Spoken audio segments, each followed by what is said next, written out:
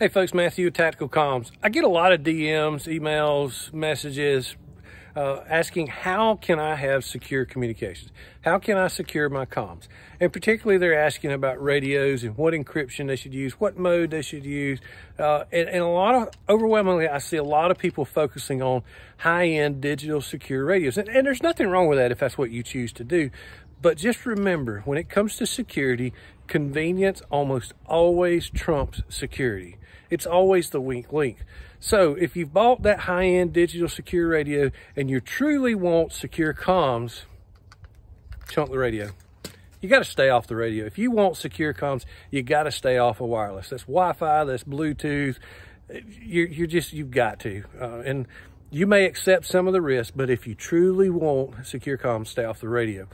If you just can't stay off the radio, your second option is to create uh, uh, tactics, techniques, and procedures, or TTPs, to for you and your group to limit the use of the radio. Uh, one of the things I encourage groups to do is take advantage of SMS or the text messaging feature in a lot of digital radios.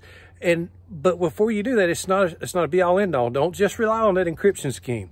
You've really got to adopt the random call sign generator, random encryption keys, uh, brevity matrix uh, matrices however you say that, the matrix, you know, like a movie, I guess, I don't know. But anyway, it's just a graph. It's a, uh, basically an Excel spreadsheet you make this code for whatever you're saying. Instead of saying, meet me at this location, you've got randomly generated call signs and instructions that are in code. So even if somebody hacks your encryption, they've got to hack your brevity matrix and, and things like that. And nobody's going to do that, by the way. But anyway, and number three, limit the way you get on the radio or limit who has the radio.